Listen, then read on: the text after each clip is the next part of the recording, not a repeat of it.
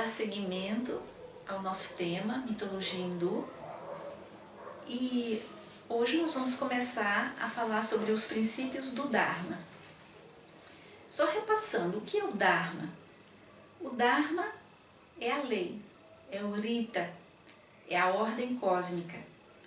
O Dharma é aquilo que mantém tudo unido, o universo unido, é, é o que dá é, coerência e sentido a, a todas as formas de vida. Sem o Dharma não existiria o universo. O Dharma é um princípio que mantém a ordem e conexão. Antes disso é o caos, o caos primordial. É... Qual seria o primeiro princípio importante de se, se entender, se compreender em relação à, à mitologia hindu? É o princípio da existência una. O que esse princípio quer nos dizer? Para isso a gente tem que abordar um pouco da cosmogonia hindu, é, lembrando de um princípio que já havíamos citado na, em aulas anteriores, que é aquilo, o absoluto. Então, o absoluto ele tem um, uma, uma primeira condição que é chamado de o imanifestado. É aquilo que não tem forma, o inexistente, a ausência, o vazio, é, vamos chamar de caos primordial.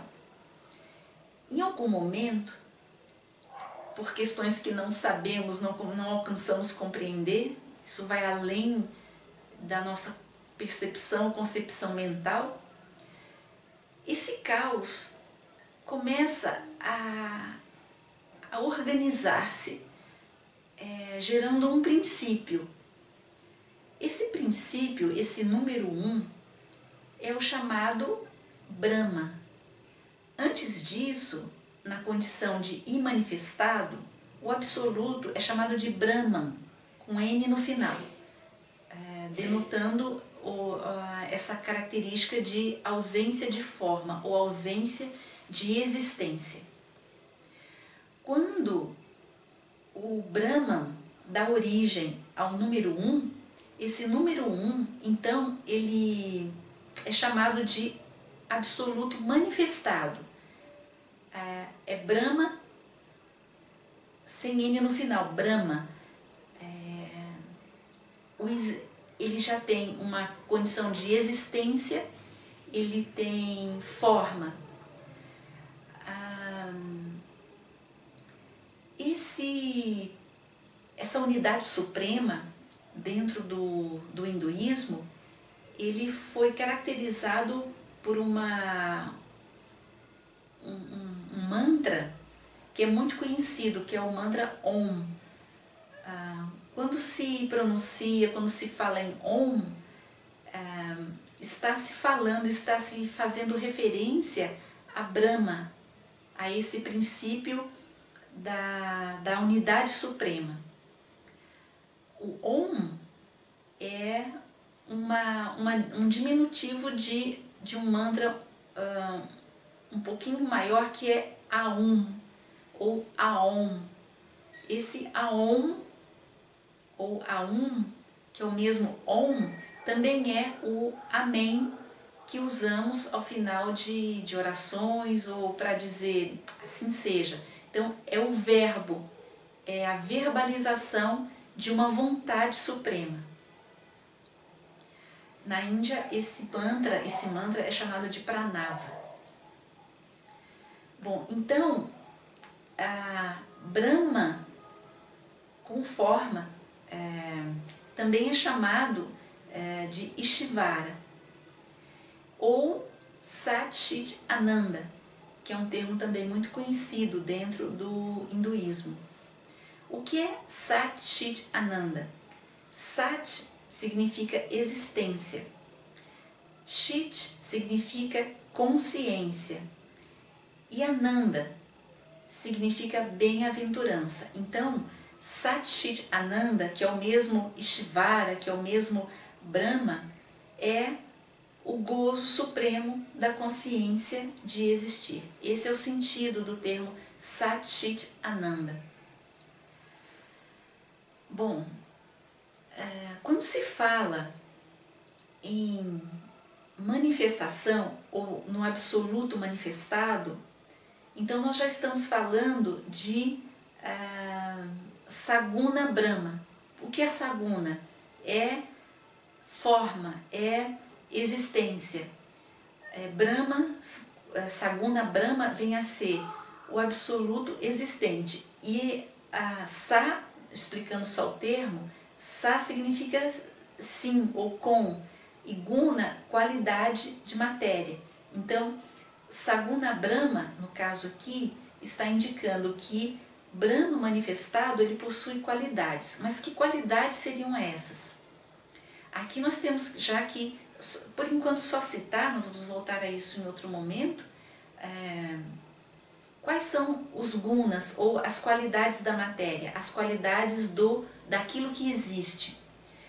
Ah, a mitologia hindu ou a filosofia hindu aponta três ah, gunas ou três qualidades da matéria, que seriam tamas, rajas e sátiva.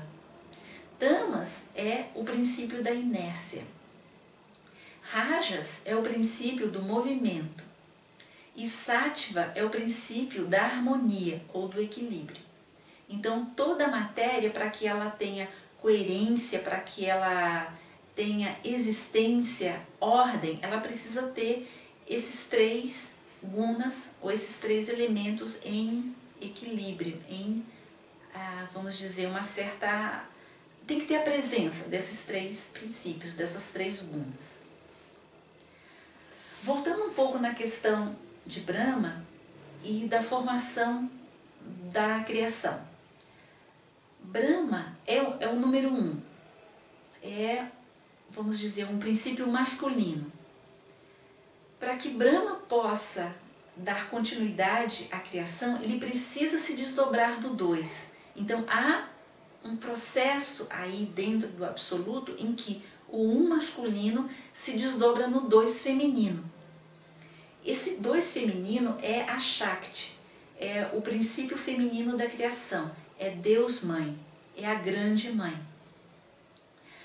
A Shakti é o grande útero universal, onde todas as coisas são geradas. Então, esse útero é fecundado pelo número 1. Um. Esse, o 2 é fecundado pelo 1. Um. Então, a, a Shakti é fecundada por Brahma. E a partir daí saem todas as coisas, num processo é, crescente de densificação é, da, da criação. Então, o universo ele nasce no mais sutil, ah, no mais é, supremo em termos de pureza, de consciência, de espiritualidade, é, esse sutil, esse mais leve, vai, na medida em que se desdobra, vai se complexando e se densificando, dando origem a tudo que existe. Só que isso não se faz assim sem ordem e sem lei, porque a característica do cosmos, como o próprio termo diz, a palavra cosmos significa ordem, é, o universo ele se desdobra, ele, se, ele tudo que, que existe é, vem à, manifestação por um desdobramento de leis. E na medida em que essas leis vão se dobrando, elas vão é, dando origem a universos é, mais complexos e mais elaborados, mais densos e com uma quantidade maior de leis que o sustenta. Então, o 1 um gera o 2. E da junção do 2 há uma terceira força que se gesta. Dentro do hinduísmo, essas três forças são consideradas como Brahma, Vishnu e Shiva. Então são três princípios, é uma trindade, é uma tríade é, que sustenta toda e qualquer criação. Agora, a Shakti é a expressão desses princípios. Então, cada um desses princípios vai ter a sua Shakti correspondente, o seu princípio feminino correspondente. Então, nós temos é, Brahma possui o seu desdobramento feminino, que é Sarasvati. Vishnu possui o seu desdobramento, a sua Shakti, que é Lakshmi. E Shiva também possui a sua Shakti, que é Parvati.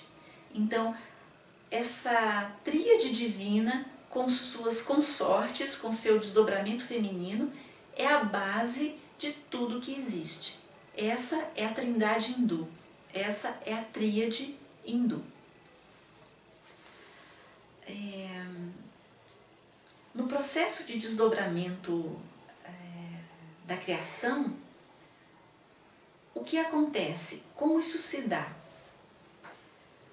Há, segundo a mitologia hindu, ou a filosofia hindu, sete cosmos, sete planos ou sete loucas é, de desdobramento dessa vontade divina, desse princípio divino, dessa tríade. Né? Então, essa tríade vai se desdobrando e dando origem aos universos. Então, são é, colocados sete planos. Que planos são esses?